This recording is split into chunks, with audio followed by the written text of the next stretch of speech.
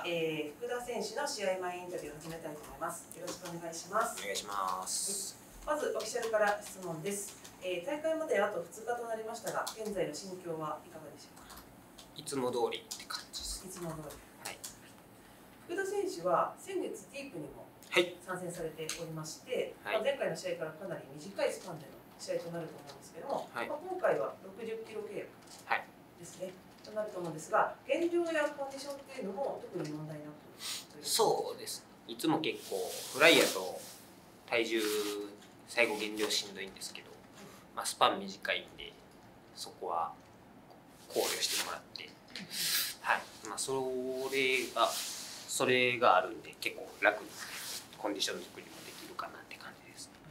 ありがとうございます。はい今回大臣初参戦ということなんですけれども、まあ今回参戦するにあたってこう周りから声などはあったりしましたか？そうですね。結構やっぱり反響はありましたね。ありがとうございます。えー、またこ、えー、普段の練習環境だったり、出稽古先、その他行っているトレーニングなどがあれば、教えていただける範囲で教えていただけよろしいですか？ああ、でもいつも通りですけどね。ほんまに毎日基礎やって。で、なんか出稽古ははコブラ会とかブローズとかそういう大阪なじみ行くんですけどそういうところでそれをスパーリングで試すっていうそれをぐるぐる繰り返してる感じですね試合決まってても普段も一緒なんで。はいありがとうございます。今お住まいは京都？京都結構山奥ではい京都から出稽古は大阪まで来てっていう感じです。そうですね。ありがとうございます。それでは今回の対戦相手の印象というのを教えていただけますか？対戦相手の印象ですか、はい。まあ MMA ファイターらしい選手って感じですかね。MMA ファイターらしい選手というのは、はい。まあ総合的に何でもできるという。そうですね。なんかあんまりその、うん、まあ全部そつなくやらはるんかなっていうイメージですかね。ありがとうございます。と、えー今回初めて福田選手を見るという来人のファンも多いと思うんども、はいご自身のどんなところをその来人のファンに見せたいというところはありますでしょうか？どんなとこか、まあ、ちょっと危ない距離でできるようなまあヒリヒリしたものを見せれたらいいなと思ってますねそこを楽しみに格闘技続けてるんで、まあ、そういうのを見てくれる人たちと共有できるような試合にしたいなとは思ってますありがとうございます。まあそのちょっと前回のディープの話になるんですけれども、はい。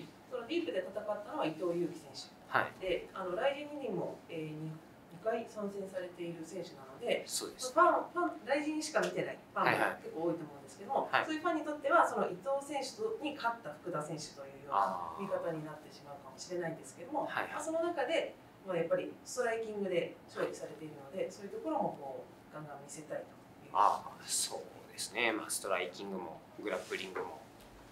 グラップリングも面白いやなって思ってもらえたら一番いいと思うんで。まあ面白い動きのある展開にできるんじゃないかなと思います。組になっても。はい、あとあのプロフィールではい、こうタイに行ってあそのまま。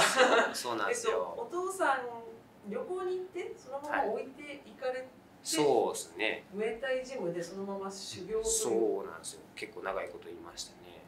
そのエピソードというのをもうちょっと詳しく聞きたいんですけど。詳しくまあ 旅行やと思ってはい。でもその文章のまんまですね。連れて中学帰1年生の頃にじゃあ夏休み旅行行ってはい。で旅行行って空港からタクシー乗って、連れてかれた先がそこやってあムエタイのジムに連れて行かれた、で航空券渡されてじゃあ。え？帰りのね。はい。でお父さんはじゃあねって感じ？そうですね。なんかちょっとだけ遊んで帰ったのかな音も知らんけど。その後はそこからは一人で。あじゃあ向こうの言葉も分かんないんで。分からないままムエタイの練習を一緒にそこでそうですそうです。しました。すごいエピソード。そうですね。変わってましたね。まあ、そこでまあ打撃とか、まあ、そうですそうです。そうですね。なんかまあ初めてややったからそれは経験なかったんでまあ一から教えてもらったって感じですね。それあでももともとりがそのバックボーンになるっていうことって言ってもそこから日本に戻ってきてずっと続けてたわけでもないんであ格闘技経験がそれってことじゃないかな日本帰ってきてはそのピュアブレッドショート入る続けてたってこともないんで。あそうなんですね、はい。なるほど。はい。で一旦期間が空いてでまたジムに入ってから格闘技をやるそうですね。はい。ありがとうございます。それでちょっとまた試合の話に戻るんですけれども。ぜひぜはい。えっ、と今回の試合ご自身ではどんな試合展開になると予想しておりますでしょうどんな試合展開？かはい。いやでもそれが分からんから楽しみにっていうのが毎試合のことなんで。どんな展開になるかな。分かんない。分かんないですけどまあでもどうなってもまあ面白い試合にはできるんちゃうかなとは思ってます。まあ、長引きは長引くほどしんどくなってくるんちゃうかなと思いますね。それはご自身も相手もいや相手が。相手が。では長引いても福田選手的には特に問題ない。長引かしたいですね。うんむしろ楽しみたいです。せっかくの大舞台なんでしっかり5分3ラウンドみっちり普段自分がやってることを試したいですね。なるほど、まあ、あまりじゃあ仕留めにかかるというよりも、まあ、やってきたことを試す。そうです。もちろん。はい、ただまあ普段から終わらすつもりで練習もしてるから。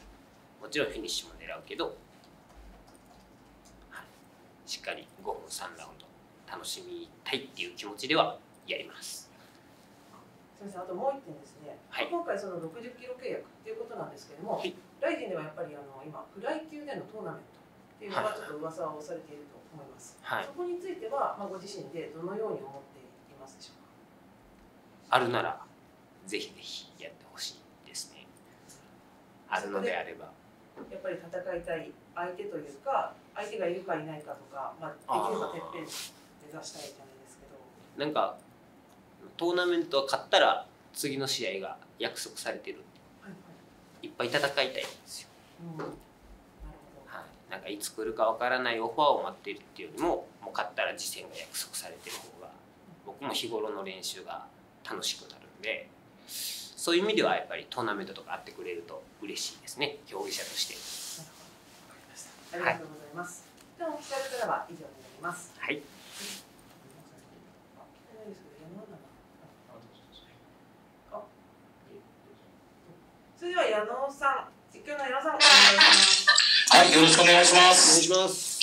当日実況やらせていただきます、矢野でございます。はい。ちょっと先ほどの確認なんですけども、あの、タイに連れて行ったというお父様は今、はい。どんな応援をしてくれてるんですか？いやーあんまりね連絡取ってないんですよね。あ、そうなんですか？そうなんですよ。そうなんです。なんでそのですねまあでも応援はしてくれてますよ。はい。きっと。当日は会場来てくれるんでしょうか？当日会場には来ないですね。そうですか、そうですこれこれこっち向いて喋ったらいいはいあこっちはい。当日会場には来ないです。あ、そうですか。はい。で、改めてちょっと重複する確認なんですけども、はい。今回60キロっていう体重ですけれども、はい。ターゲットっていうのはバンタムではなくてフライですか？どっちでもいい両方行き行け行きたいグランプリ開かれるならそちらが興味あるっていう。あグランプリ開いてくれるってやっぱりまあずっとフライで戦ってきたんで、まあ、しっかりフライでもっと実力を試したいっていうのもありますし、まあ、60でもできるんやったらなんか誰かの代役とかでポロッと試合の話もらえるんやったら全然やりたいしっていう感じですね。どっちでもいけます。でも60の方がやっぱり減量しんでいいんでねあんまり。その方が僕は好きですけど、はい。でもグランプリやるんやったらめちゃくちゃ楽しみですね。それはワクワクします。で、福田選手もこれまで平選手や新竜選手とも戦ってますけれども、はいこのフライ級っていう日本の階級のレベルであったり、楽しいところってどこでしょうね？やっぱりこうねもうみんな何でもできて当たり前みたいなところだと思うんですね。その特出したもんだけでずっと勝ち続けれるってことがあんまりないんかなって思って展開もすごい早いし。なんでそういう意味ではまあすごい玄人向きというか、あはまあ、競技のその競技性を分かってみたらすごく面白い駆け引きがいっぱい見れる階級だとは思うので、まあ、見応えあっていいと思いますけどね。僕は、はい、僕は好きです。ヘビー級とかの試合見るより全然ボクシングとかでも。その意味でやっぱり3ラウンドしっかり戦ってるところ戦いたいっていうのはそういうことも含めてですか？そうですね。なんかはい。そういうのも含めてやっぱりこういろいろ試したいところがあるんでそれを存分に楽しめたらいいなと思います。鍋選手ではい。であのー人力車を引いていたっていう話聞きまはいした、はいちょっとそれを教えていただいていいですか？あどうぞどうぞ。ずっと働いてましたね。みんな見てるかな？どれどれくらいどのあたりをこうや僕ってたんですか？あ僕嵐山で生まれ育ったんでずっと嵐山に住んでたんですけど、なんか渡月橋とかあの辺の界隈ですね。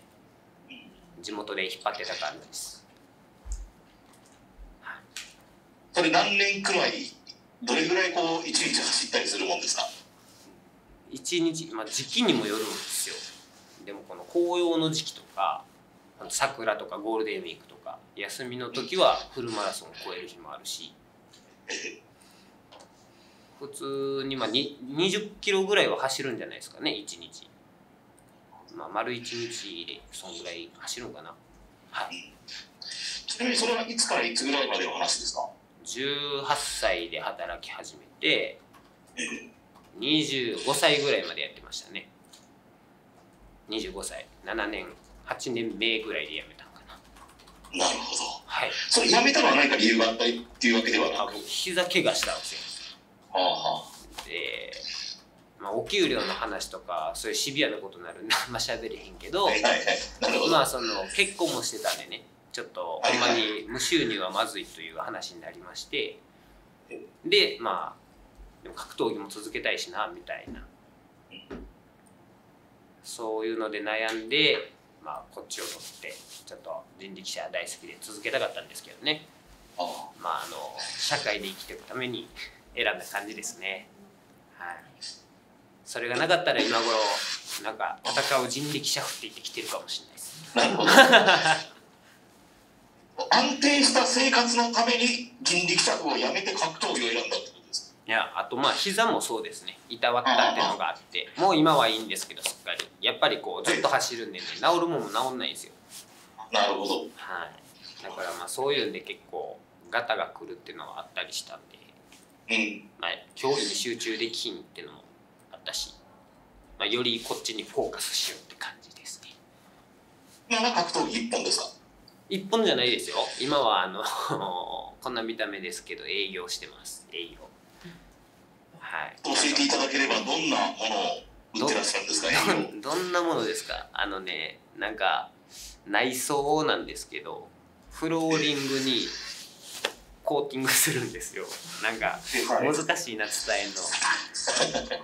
なんかギターの天板とかピカピカしてるじゃないですか。あのピカピカするのをお家のフローリングになんか塗る塗るんですけどえーそれをなんか営業してますね。法人営業です。会社さんに企業さんにお話ししに行ってます。はい。そうそう。あわかりました。じゃあそういう皆さんも応援に来てくれたりするんですか？いや結構ね繁忙期なんですよね。だから忙しいですね。いやもうみんな現場行ってくれてますね。すごい感謝してます。はい。どうぞわかりました。いろいろ教えていただいてありがとうございます。本日お願いしまおす願いします。ありがとうございます。はい。えー、とその本格さんが質問したいっていうことなんですけど、まだいらっしゃってなくて。あ。あ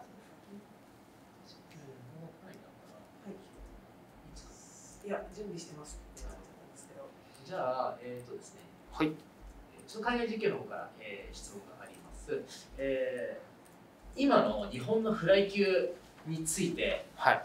レベル的にご自身でどう思いますか？どう思う？どう思う？どう思う？あんまりややっぱりワン組とか、まあ、ベラトールライジンまあいろいろあると思うんですけどまあ平君もそうやしね。結構まあここ最近戦ってきた子らが、まあ、その上の方って言われてる人らとやってきたんで、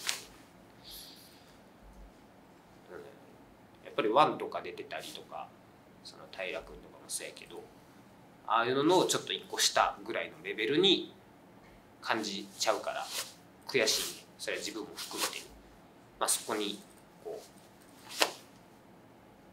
ついていきたいなっていうか追い越したいというか、まあ、そういう思いはありますね。そうすればもっと盛り上がると思うし日本の格闘技強いって。やっぱり海外で成果出してる人たちなんで多分平君もね UFC ですごい勝ってってくれたりしたらすげえってなるしワンで次は若松君がタイトルマッチあってまあ団体とか僕は分かんないですよ垣根は。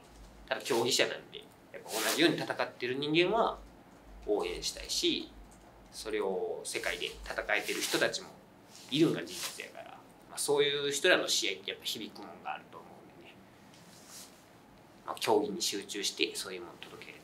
らとは思うんですけど、まあ、特にそのライジンのフライではだからその辺のレベルまでいてる人っていうのはまだ僕が今見た感じではいてないし、まあ、俺は肌も合わせてきたけどやっぱり平達郎とかあの辺から感じたものっていうのを感じる人はいないんじゃないかなとは思います。別に僕の方が上とも別に思ってへんけど実際経験してるんでそういうレベルの、まあ、それに比べたらどうってことないなっていう人らしか出てへんかなと思いますけどねはいありがとうございます。それでは、えー、福田選手の試合前インタビュー終了となります。ありがとうございました。ありがとうございます